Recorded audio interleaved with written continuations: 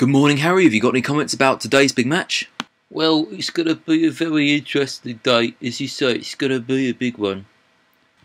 Harry, do you expect many goals today? Oh, yes, I think it's going to be a big scoring match. Probably about 40 goals wouldn't be an exaggeration. But I've never been very good at that. But yes, yes, a lot. Who have you got on the team today? Well, I'm very happy Stuart's on the bench. He's the top lad. He's got a great football brain. He's got quick legs.